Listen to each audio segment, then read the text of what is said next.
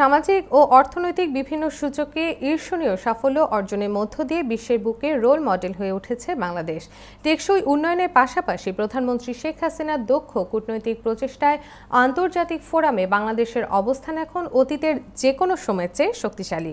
পররাষ্ট্রমন্ত্রী এ কে আব্দুল মোমেনের মতে বঙ্গবন্ধু কন্যা যোগ্য নেতৃত্ব, বিচক্ষণতা এবং রাজনৈতিক স্থিতিশীলতার কারণে বিশ্বের বড় বড় দেশ এখন বাংলাদেশের সাথে কাজ করতে আগ্রহী।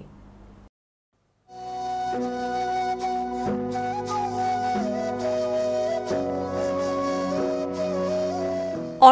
প্রবৃদ্ধি, অবকাঠামো নির্মাণ, শিক্ষা, স্বাস্থ্য ও সামাজিক সুরক্ষা সহ উন্নয়নের প্রতিটি সূচকে প্রতিবেশী দেশগুলোকে ছাড়িয়ে উন্নয়নের রোল মডেল হয়ে উঠেছে বাংলাদেশ। শুধু প্রতিবেশী দেশগুলোই না জাতিসংঘের টেকসই উন্নয়ন লক্ষ্যমাত্রা অর্জনের মাধ্যমে তাক লাগিয়েছে পশ্চিমা কিংবা উন্নত বিশ্বের দেশগুলোকেও। পররাষ্ট্রমন্ত্রীর মতে, বহির্বিশ্বে বাংলাদেশ নামক ছোট্ট দেশটিকে এখন সবাই চেনে। শুধু চেনেই না, রীতিমতো জানাতে চায়, অনুকরণ করতে চাই বাংলাদেশকে। আমরা এখন এমন অবস্থানে আসছি।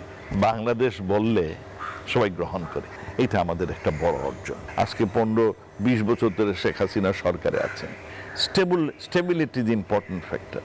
এবং দ্বিতীয়ত উনি গভর্নেন্স অত্যন্ত সুন্দরভাবে পরিচালন করে শুধু প্রতিবেশী ভারত চীন নয় মধ্যপ্রাচ্য সহ পশ্চিমা দেশগুলোর সাথে উষ্ণ সম্পর্ক তৈরিতে সফল বাংলাদেশের কূটনীতি।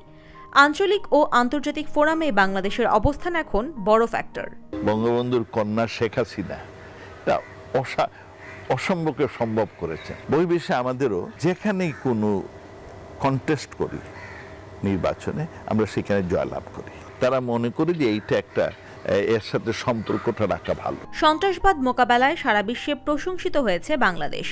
মানবিকতার অনন্য নিদর্শন স্বরূপ বারো লাখ রোহিঙ্গাকে ঠাঁই দিয়ে সারা বিশ্বের প্রশংসা কুড়িয়েছেন বঙ্গবন্ধু কন্যা শেখ হাসিনা। সাম্প্রতিককালে করোনা মহামারী মোকাবেলায় আরও একবার বিশ্বের কাজের সক্ষমতা প্রমাণ করতে পেরেছে বাংলাদেশ। এখন না আজকে থার্ড ওয়েভে আমরা একটু কষ্টে আছি। কিন্তু প্রথমটা তো আমরা ওই ম্যানেজ ডি সো ওয়েল এইটা সবার দৃষ্টি আকর্ষণ করেছে। আমি গেছিলাম টার্কিতে। হ্যাঁ তখন টার্কির প্রেসিডেন্টের সাথে সাক্ষাৎ হওয়ার সময় উনি প্রথম আমাকে বললেন যে আপনার প্রধানমন্ত্রীর হোয়াট ইজ হার ম্যাজিক দুই হাজার চোদ্দ সালের পাঁচ জানুয়ারি নির্বাচন নিয়ে প্রশ্ন তুলেছিল যেসব দেশ তারাই এখন বাংলাদেশের উন্নয়ন সহযোগীর তালিকায় শীর্ষে। আশা আসান বাংলা চ্যানেল।